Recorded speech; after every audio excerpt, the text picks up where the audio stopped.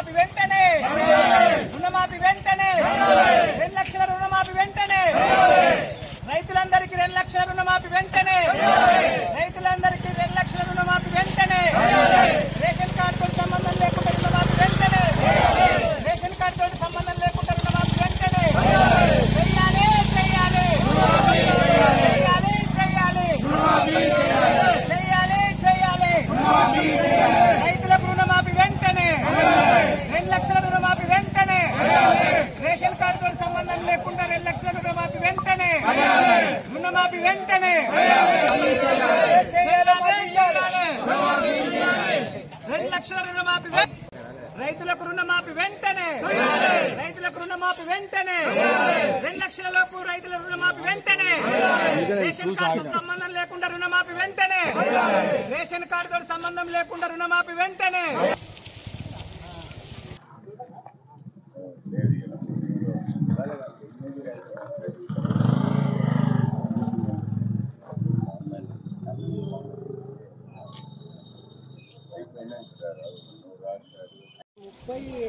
అరవై అరవై రెండు వేలు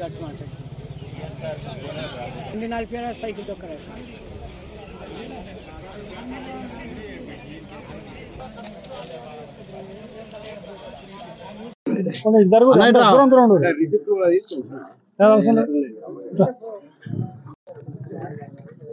జగిత్యాల అర్బన్ మండలం అంబార్పేట గ్రామ పంచాయతీ పక్కన ఉన్నటువంటి జగిత్యాల అర్బన్ క్లస్టర్ రైతు వేదిక దగ్గర అంబార్పేట అస్నాబాద దరూరు మోతే తిప్పన్నపేట. మా అంబార్పేట శివార్లో ఉన్నటువంటి రైతులు అంతర్గాం గ్రామ రైతులు కూడా చాలా మంది రెండు లక్షల రుణమాఫీ కాని వాళ్ళందరూ ఇడికి వచ్చి వాళ్ళ యొక్క బాధను వెళ్ళబుచ్చుకోవడం జరుగుతుంది.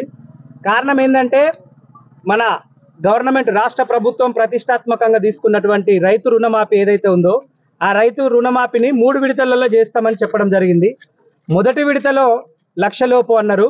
లక్షలోపులో పదివేలు ఉన్నటువంటి హస్నాబాద గ్రామ రైతు పునుగోటి సాగర్ రావు అనే రైతు. ఈయనది పదివేలు కూడా రుణం మాఫీ కాలే.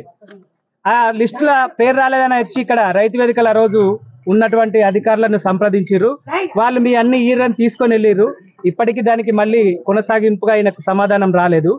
ఎనభై వేలు ఉన్నటువంటి రైతు అంబార్పేట గ్రామ రైతు ఈయన ఎస్సీ రైతు. ఈయనకు ఎనభై వేలు. ఈయనకు కూడా రుణం మాఫీ కాలేదు. ఎందుకు అని అప్పటి నుంచి ఇప్పటి వరకు ఆయన తిరుగుతూనే ఉన్నాడు.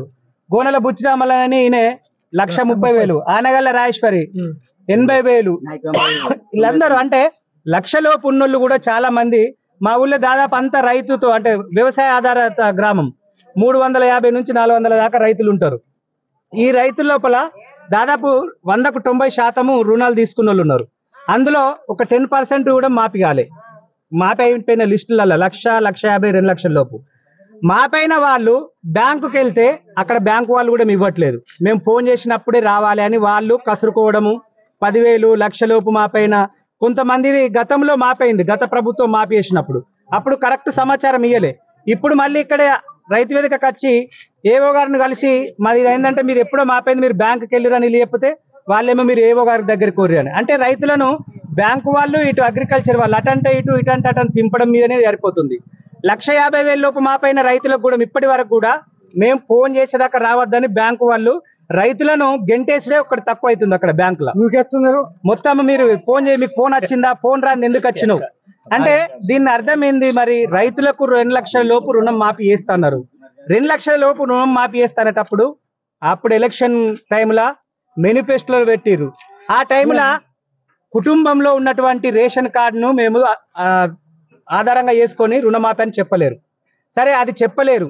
అలా చేస్తున్నప్పుడైనా అగ్రికల్చర్ వాళ్ళందరూ డిపార్ట్మెంట్ను కూర్చుని పెట్టుకొని ముందే ప్రతి ఊరు నుంచి డేటా తీసుకోవాలి గవర్నమెంట్ అలా తీసుకోలేదు. ఒక రైతు దరూరు ఈయన ఈయన బిడ్డకు పెళ్ళి అయిపోయింది. పెళ్ళి అయిపోయిన ఆమె పేరు రేషన్ కార్డులో ఉండిపోయింది ఇక్కడ దరూర్లో ఈమెను తాండ్రాలు ఇచ్చారు గంభీర్పూర్ మండల్. ఎందుకంటే నీ బిడ్డ లోన్ తీసుకుంది నోట్లని. మరి ఇప్పుడు ఎన్ని వేల కోట్లు చేసినట్టు ఇది?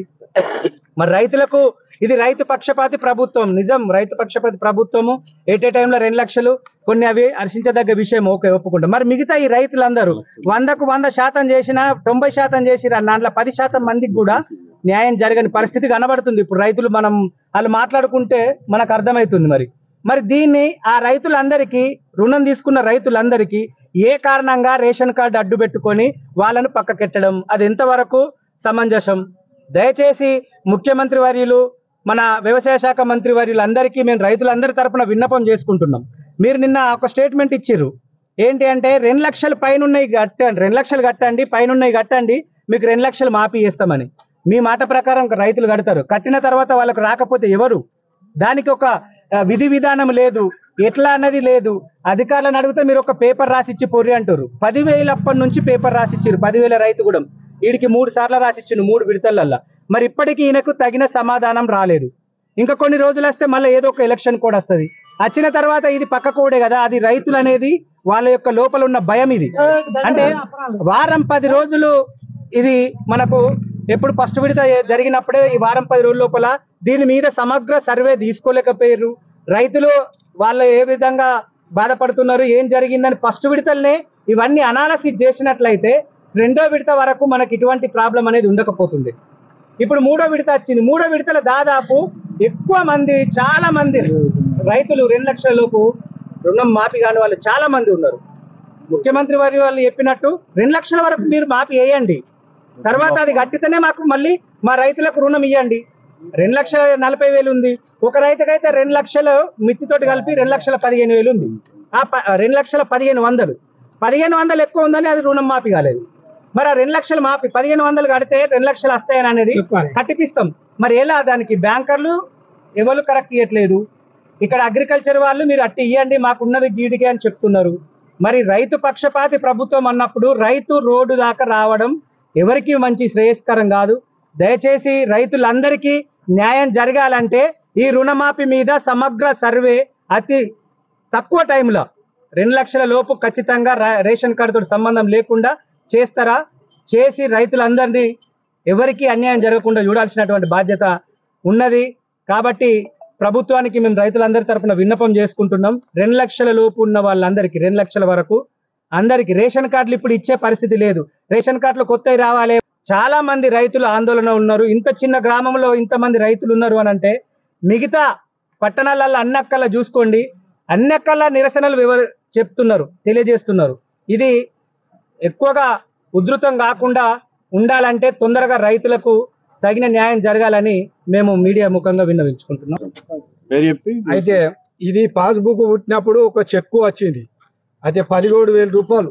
అయితే పదిహేడు వేల రూపాయలు చెక్ వచ్చింది. చెక్కును పాస్బుక్ నా చేతిలో పెట్టింది. పెడితే నేను పదిహేను రోజులకు పోయి బ్యాంకు కాడికి పోయి ఈ అమ్మ ఈ చెక్ అని బ్యాంకులకు పైసలు పోతే పైసలు లేవు ఇలా వల్లేవు అని అన్నాక ఇదే చెక్కు తీసుకుపోయి అగ్రికల్చర్ ఆఫీస్కు చూపితే ఆ చెక్కు తీసుకున్నది రిటర్న్ పంపిన అన్నది వరకు దీని పైసలు అందలేవు. ఇక దీని పైసలు అందలేవు. అయితే ఇది లక్ష ముప్పై ఉన్నాయి బ్యాంకు శ్రీనివాస స్థానంలో బ్యాంకుల. అయితే అండ్లు ఉన్నాయి ఇండ్లు ఉన్నాయి కానీ ఇగో ఇది లక్ష ముప్పై చూడ ఆఫీసు ఆఫీసు కూడా రాలేవు. అయితే ఇది ఆఫీసర్ల దగ్గర కొద్దిగా సీక్రెట్ పోరాటం ఉన్నది. వాళ్ళు కరెక్ట్ పనిచేయాలి పదివేలు ఉన్నాయి ఇరవై వేలు ఉన్నాయి. లక్షల్లో ఎందుకు రాలేవు? ఈ ఆఫీసర్లు చక్క వంపకనా? వీళ్ళు పని చక్క చేయకనా ఊళ్ళ దగ్గర నేరం పోయిందో ఇది ఒక్కటి ఇన్క్వైరీ చేయాలని చెప్పి దయచేసి ప్రజాప్రతినిధులకు వినిపిస్తున్నా సాగర్ రావు నేను హస్నాబాద్ గ్రామం వస్తుంది. నాకు నేను గత మూడు సంవత్సరాల క్రితం పదివేల రూపాయలు నాకున్న తొమ్మిది గుంటల భూమిని పెట్టి అగ్రికల్చర్ కింద లోన్ తీసుకున్నా. ఆ తీసుకున్న దానికి మధ్యలో ఈ రుణమాఫీ అనే వస్తుంది అన్నాక నేను లోన్ కట్టలే. లోన్ కట్టకుండా నువ్వు ఇంట్రెస్ట్ కడితేనే నీకు లోన్ మాఫీ చేస్తాను లేకుండా లేదని బ్యాంక్ వాళ్ళు అంటే ఆ మూడు వేల రెండు వందల నలభై నాలుగు రూపాయలు ఇంట్రెస్ట్ కట్టి ఆ లోన్ అట్లనే ఉంచుకుంటే వాళ్ళ ఈ ఇప్పటి